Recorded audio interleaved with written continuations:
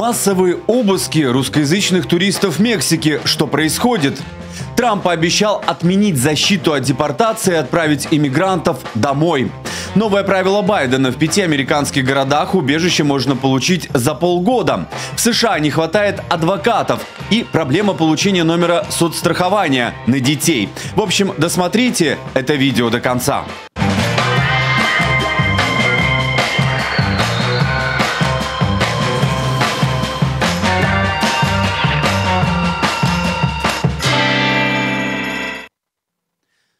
Всем привет, я Денис Чередов, вы смотрите рубрику «Надо валить» на YouTube-канале Бюро. Здесь мы обсуждаем только самые важные и актуальные проблемы иммиграции. Ну, конечно, темы вопросов у иммигрантов, как обычно, много, поэтому не тратим время зря. Пожалуйста, поставьте лайк этому видео, а еще напишите, пожалуйста, в комментариях, откуда вы нас смотрите, ну и какие темы иммиграции вы бы хотели обсудить. Ну и, конечно же, дождитесь ответа на свой вопрос. Также задавать вопросы вы можете в ленте комментариев к этому видео. Напомню, что обычно вечером по Нью-Йорку выходят наши обзоры о том, что на самом деле происходит в Америке, а здесь мы говорим только об эмиграции. Ну что ж, начнем.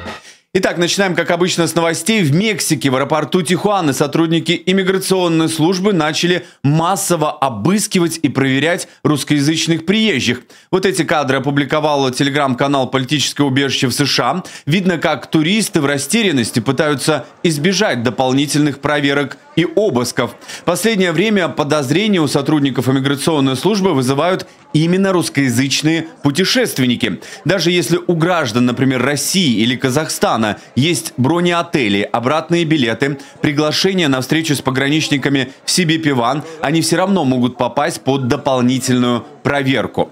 Но я добавлю, что в конце апреля представители авиакомпании Turkish Airlines предложили гражданам России, купившим билеты из Москвы, Санкт-Петербурга и Казани в Мехико и Канкун, аннулировать билеты, либо изменить маршрут и даты перелета до 31 июля.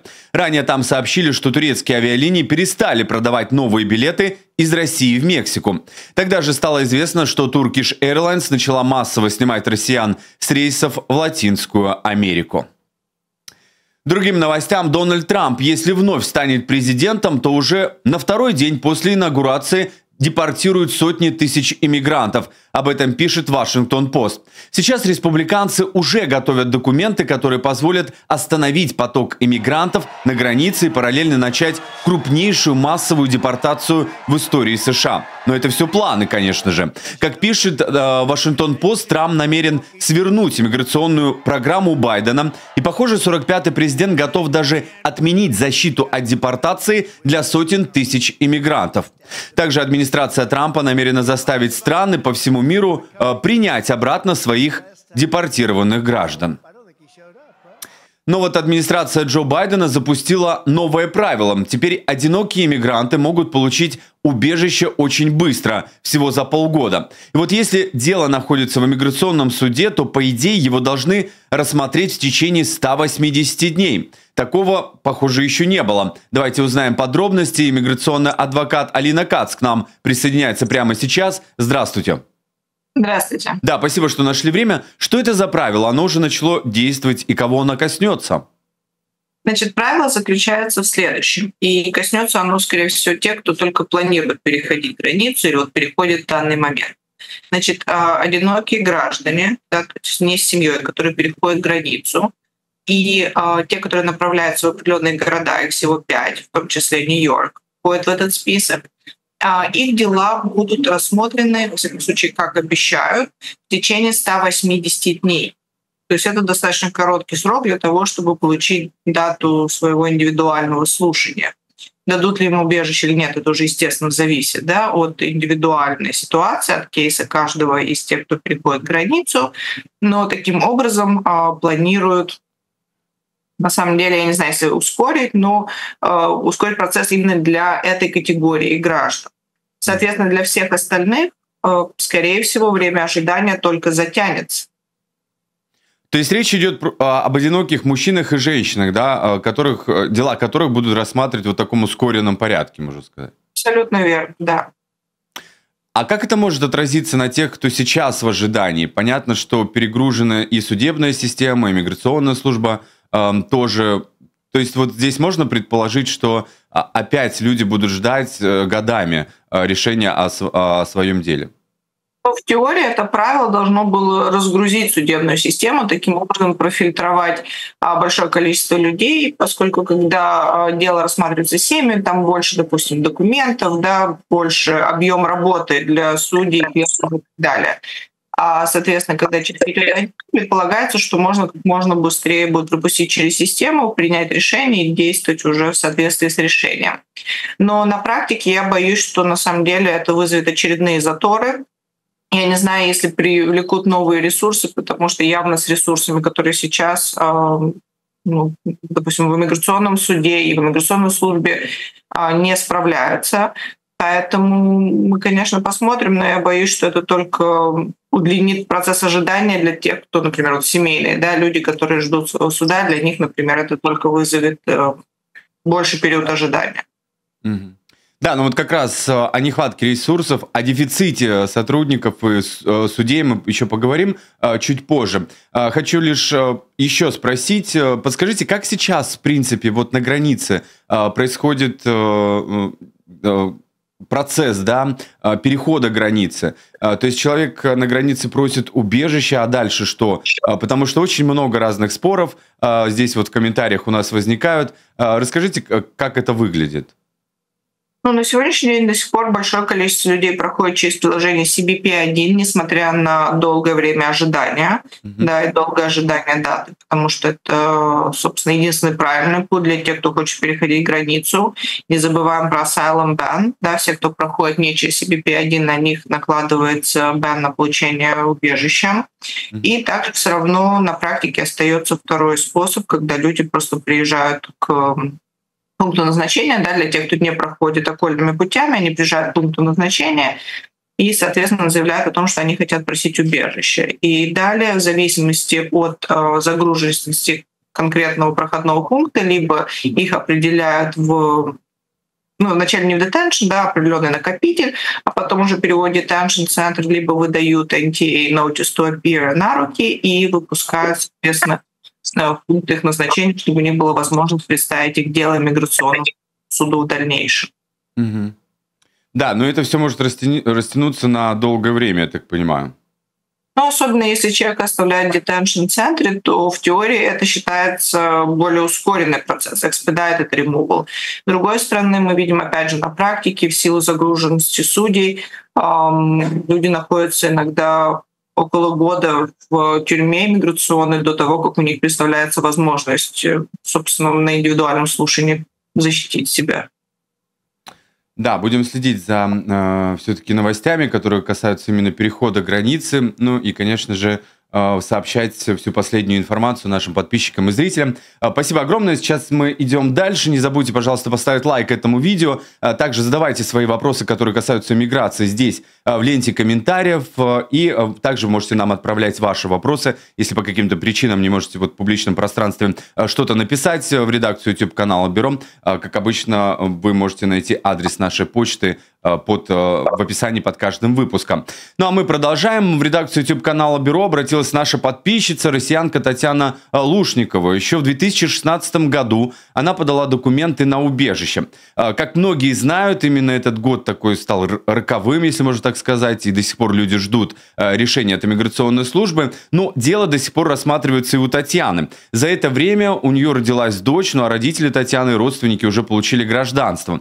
И вот женщине удалось так также от работодателя за это время получить предложение по визе, это форма I-140. И вот иммигрантка обратилась в миграционную службу, чтобы изменить статус, но получила отказ. Что же можно сделать в этой ситуации? Давайте попробуем разобраться, потому что многие наши э, подписчики тоже могли столкнуться с этим. Э, из Вашингтона, из пригорода, э, я так понимаю, э, Остина, да, э, к нам присоединяется Татьяна Лушникова. Татьяна, здравствуйте.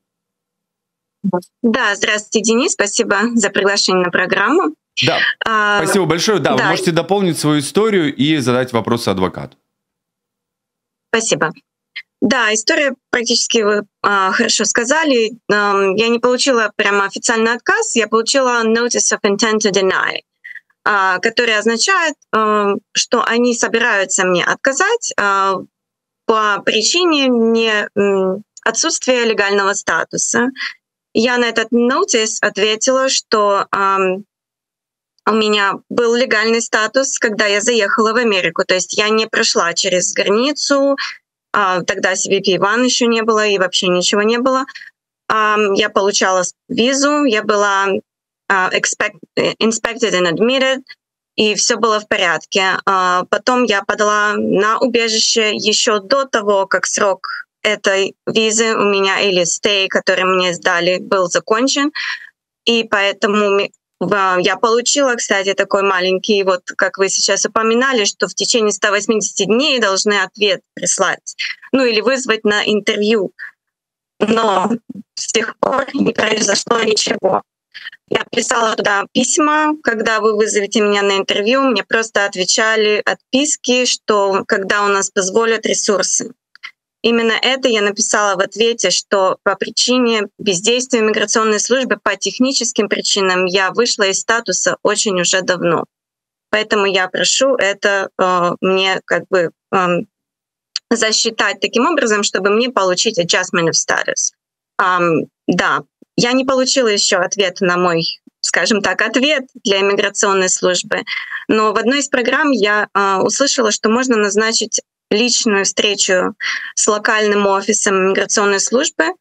И я бы вот хотела уточнить, как можно было бы встретиться и, как бы, скажем так, лично поговорить и э, объяснить э, свою ситуацию офицеру миграционной службы. И еще второй вопрос: есть ли еще какие-то другие возможности. А, мои родители, мои родственники подавали на меня 130-ю форму, но это очень долгое время ожидания. А, и также а, есть возможность consular process, но, к сожалению, паспорт страны, по которому я въехала, ну, российский, он истек. И поскольку я подавала на убежище, то у меня нету как такой, не то чтобы нету, но не, продление паспорта я не рассматривала. Спасибо. Окей, давайте разбираться Постепенно. По частям, да, по мере, по мере поступления. Значит, во-первых, собственно, тот вопрос, да, который вы задаете, он непосредственно связан с темой нашей беседы несколько передач назад, и оно, в принципе, ваша ситуация, она подтверждает мои слова, и заключается в следующем. Во-первых, когда вы а, подаете на грин-карту, вы должны эм, как бы учитывать два фактора. Первый — это легальный въезд, то, что у вас произошло, то, о чем вы говорили, вы приехали по визе.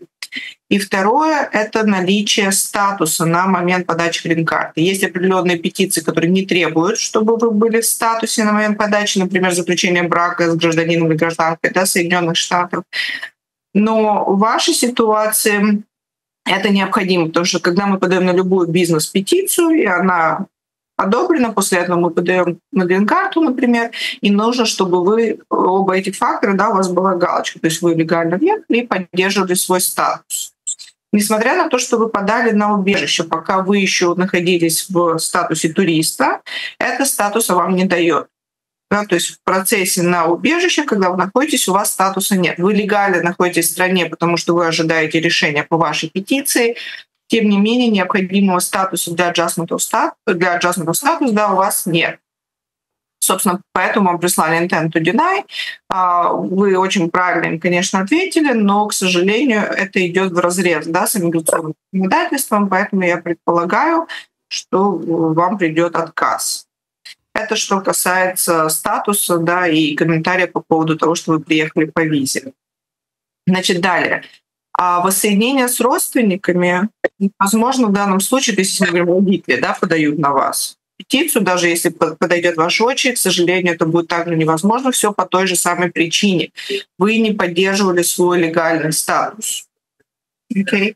Поэтому, э, собственно, и даже если вы сделаете себе сейчас адванс пароль, да, у вас петиция в иммиграционной службе, вы не находитесь где вы в теории могли бы сделать себе адванс пароль и выехать за пределы страны, но даже канцлер Прассинг вам в данном случае не поможет. Вам точно так же на интервью в посольстве скажут, вы не поддерживаете статус, мы не можем вам дать иммиграционную визу. Поэтому, на самом деле, особых альтернатив у вас на сегодняшний день нет, вам нужно идти по вашему делу. И когда наконец-то вас вызовут на интервью, представить его в лучшем свете. Это что касается первого. Далее. Насчет InfoPass Appointment, это то, что, скорее всего, о чем вы говорили, это встреча с офицером. InfoPass Appointment назначают далеко не все. То есть если вы хотите просто узнать о судьбе вашего дела по убежищу, они, скорее всего, вам InfoPass не назначат. Во-первых, потому что InfoPass он проходит в общем USCS офисе, а все, что связано с убежищем в иммиграционной службе, это занимается непосредственно Asylum офис. И, к сожалению, с офицерами Asylum офиса ну, как бы особой встречи искать не, не, ну, невозможно это. То есть на сегодняшний день до них и дозвониться невозможно, можно писать имейлы, на которые они отвечают очень-очень редко. Поэтому дам вам как бы совет, который не очень всем нравится, к сожалению, надо ждать. То есть вы можете, конечно, писать письма, просить ускорить назначение интервью, вы можете сделать Abdusman request, вы можете обратиться к конгрессмену, вы можете даже судить иммиграционную службу. Да.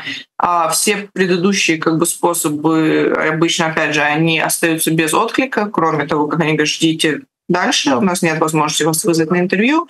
Последний способ э, судить иммиграционную службу, я вот много раз говорила в предыдущих эфирах, я лично не сторонник подобных мер, но есть люди, которые выбирают этот путь.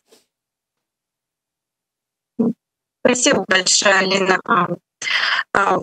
А, записаться на интервью именно не по асайлам вопросу, а по вопросу а, бизнес-иммиграции было бы возможно в локальный офис?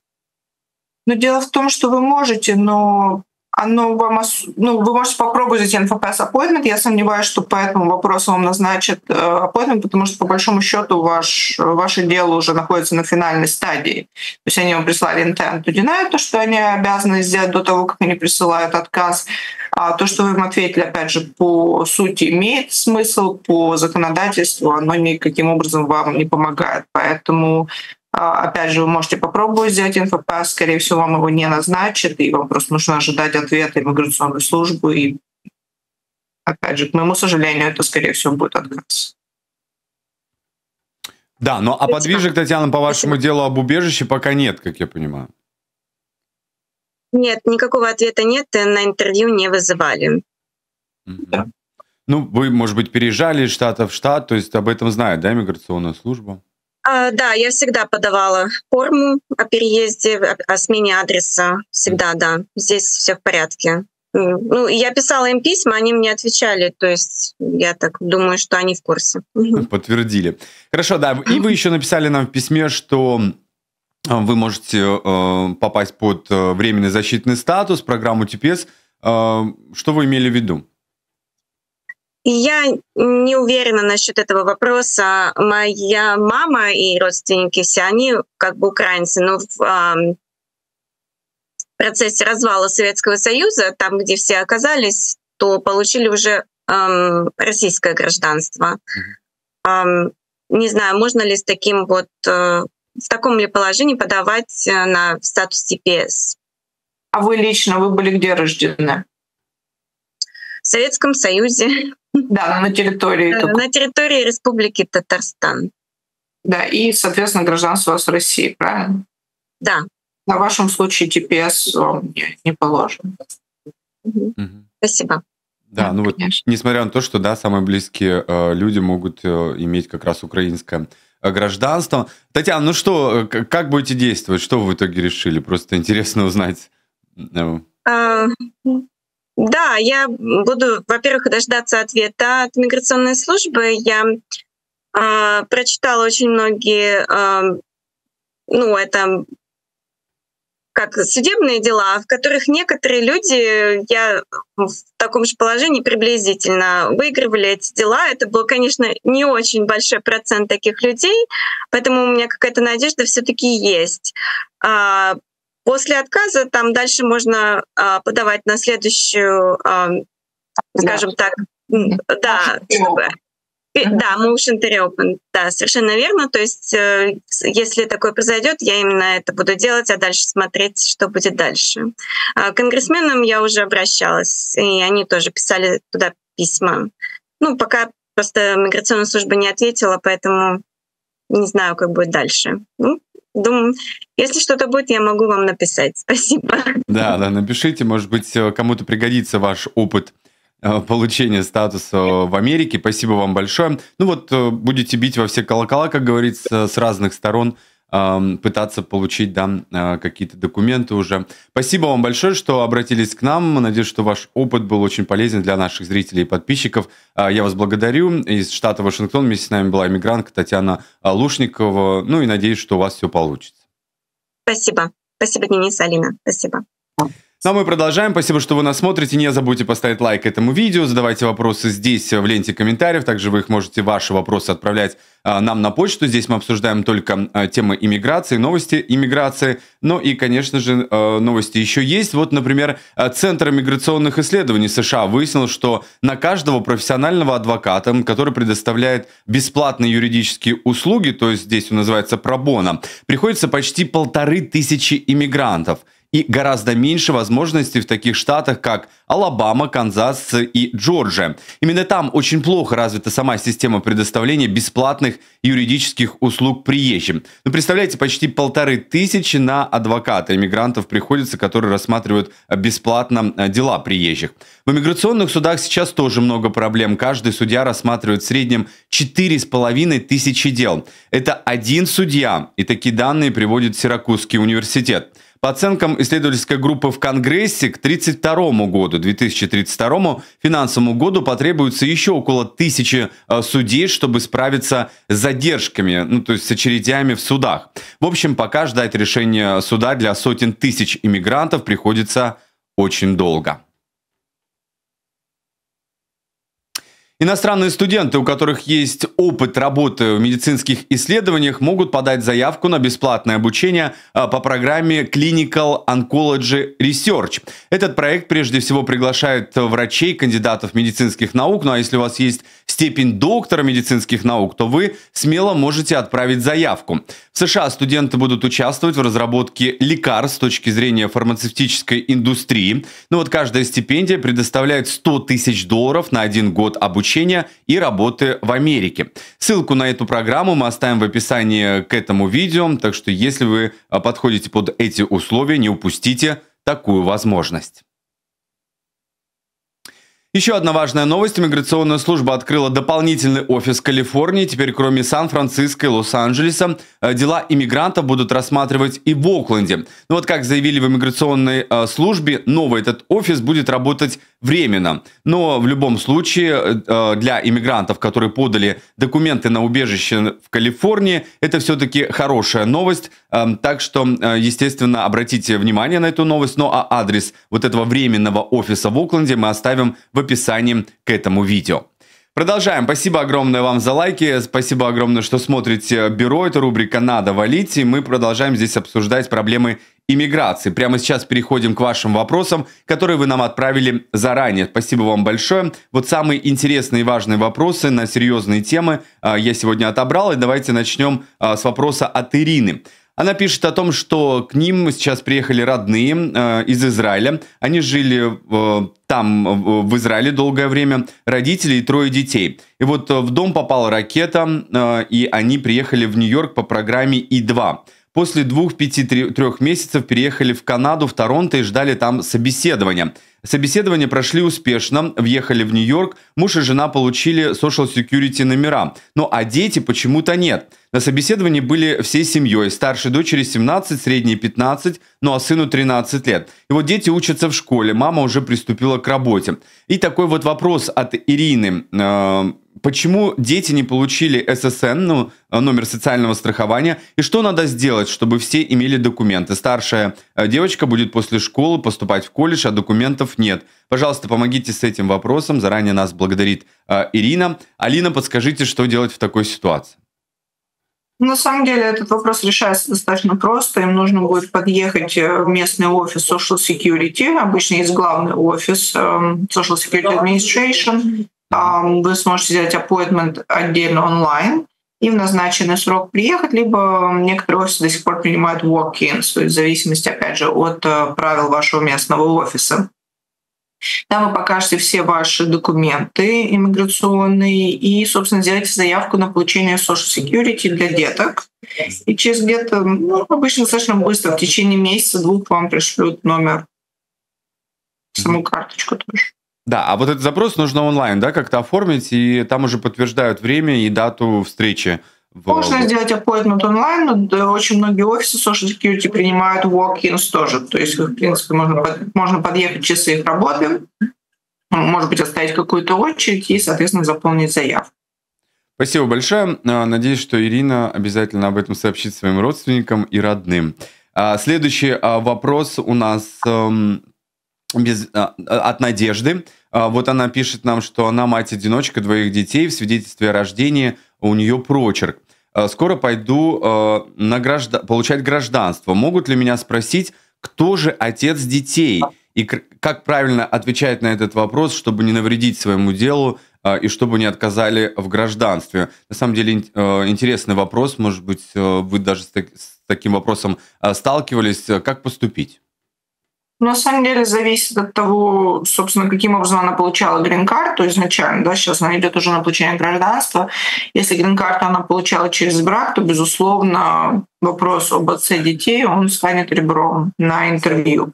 Дальше э, также зависит от того, она идет получать гражданство через три года после э, получения первой грин-карты неважно, пер, да, первой грин-карты, либо она идет через пять лет. Потому что если она идет через три года, это значит, она пытается получить гражданство на основании своего брака с гражданином Соединенных Штатов.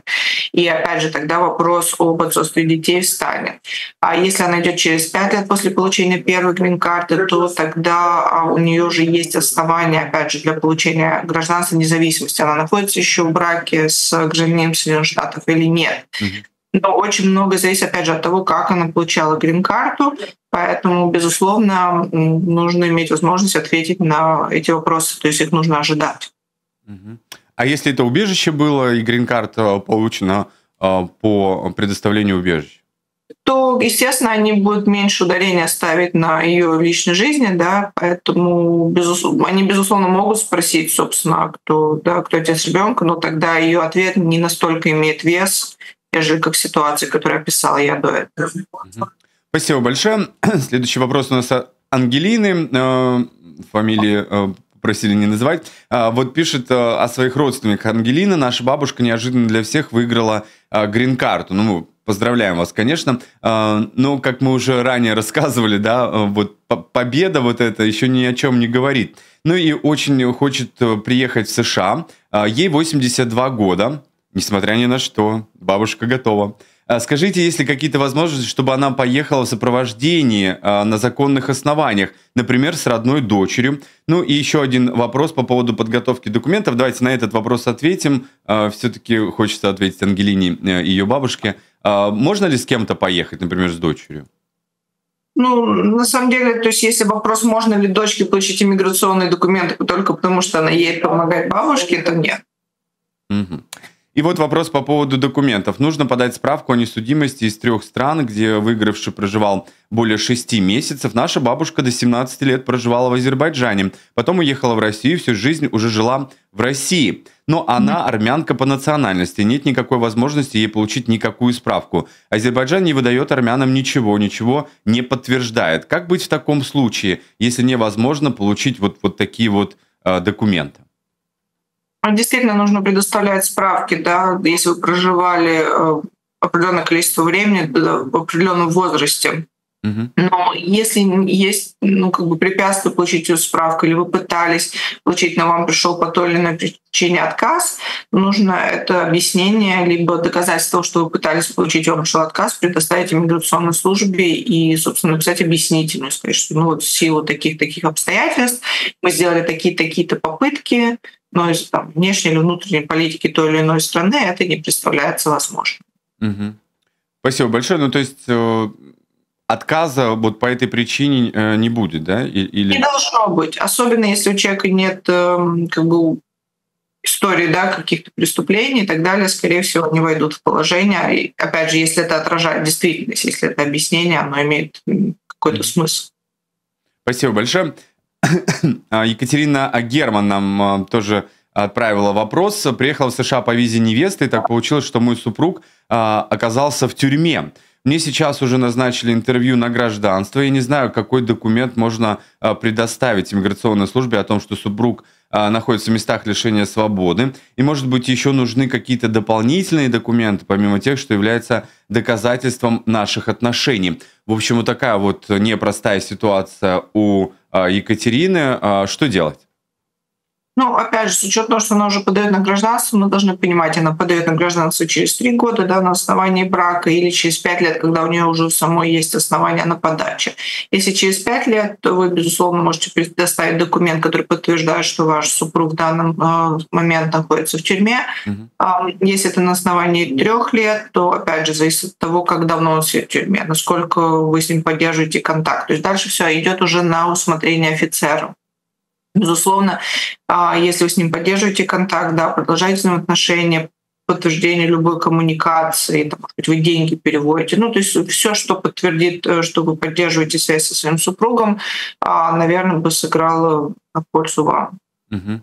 Спасибо большое. Эм, такой э, короткий ответ, надеюсь, будет э, на этот вопрос. Ну а те, кто нас смотрит, не забывайте ставить лайки. Таким образом работают алгоритмы YouTube, больше лайков, больше просмотров, ну и больше информации получат русскоязычные жители США или те, кто собирается эмигрировать в Америку. Алла Лясова пишет нам, сколько времени жители ЕС могут легально быть в США? Нужно ли им разрешение на работу и насколько? Ну, такой вот вопрос тут мы можем, да, по- по-разному. По поводу работы я, правда, не понял. Ну, наверное, надо. Ну, смотрите, дело в том, что граждане ЕС приезжают сюда по программе ЭСТА. Да, это упрощенный визовый режим, и обычно они могут находиться до 90 дней или меньше, в зависимости от того, да, что им говорят на границе. А право на работу всегда нужно для всех категорий граждан, собственно, кто планирует работать. Естественно, граждане грин-карт-холдеры могут работать э, это априори, и также получители, получатели убежища, кто уже получили асайлом, им отдельно карточка права на работу в теории не нужна, то есть они могут работать уже в наличии этого со всем остальным, чтобы иметь э, возможность работать, нужно право на работу. Спасибо большое. Э, следующий вопрос у нас от Михаила.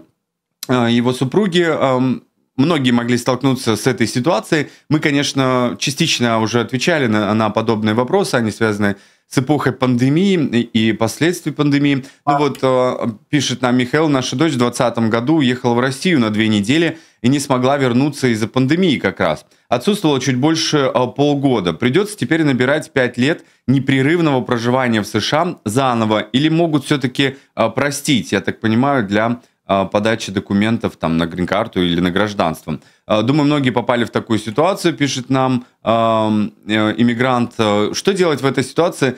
А, действительно могут простить, если там какие-то обоснования предоставить, или нужно все-таки добирать вот те даты, когда ты отсутствуешь? Ну, смотрите, насчет гражданства правило следующее. То есть вам не нужно быть пять лет непрерывно в стране, а там два момента. Первый момент — это то, что нужно быть э, всего 60 месяцев, это 5 лет у нас, должно быть там, 30 месяцев и больше угу. в стране за 5 лет. Но, но чтобы показать, что вы именно проживаете, что вы являетесь резидентом США, вы должны не отсутствовать в стране больше, чем полгода. То есть, несмотря на то, что в теории вы могли бы да, половину из этих пяти лет быть где-то, но каждый год не более полугода как бы, отсутствие должно быть. Поэтому, когда я объясняю, собственно, сколько вы должны быть, я обычно говорю, ну, это должно быть приблизительно большая часть календарного года. В каждом году вы должны быть здесь. Естественно, если в одном году вы были чуть-чуть больше, в другом чуть меньше, у вас есть веские причины, почему это произошло, это все будет на усмотрение офицера. Вот. А, конечно, пандемия подвинула эти сроки отсутствия достаточно сильно для некоторых категорий вообще они не могли приехать сюда, потому что не летали самолеты. И опять же, если у вас есть письма, подтверждающие, да, что конкретно ваш рейс был отменен. Но в случае эм, людей, которые задают вопрос, там на самом деле нарушение было недостаточно большое. Я думаю, что офицер пойдет на встречу, опять же, с учетом того, что это была пандемия. Угу. Спасибо большое. Да, если у кого-то вот подобные вопросы возникают, тоже не забывайте отправлять нам. Будем стараться по возможности а, отвечать на вопросы, связанные с пандемией. Ну вот последствия все-таки пандемии так или иначе отражаются на нашей жизни, ну, в частности, даже на экономической в том числе. Спасибо большое. А, Алина Кац, миграционный адвокат, была вместе с нами сегодня. Вот все, что успели а, сегодня обсудили, и перенесем еще некоторые вопросы уже на следующий наш выпуск, нашей рубрики «Надо валить». Я вас благодарю. Увидимся уже на следующей неделе. Спасибо большое. До новых встреч. Ну, я Денис Череда, благодарю каждого, кто смотрит нашу рубрику «Надо валить». Напоминаю, что здесь на YouTube-канале Бюро мы также рассказываем о том, что на самом деле происходит в Америке. Не пропускайте наши вечерние эфиры по Нью-Йорку. Ну и в любое время пишите нам по адресу, который сейчас видите на своих экранах. Задавайте любые вопросы, мы постараемся на них ответить и постараемся вам помочь.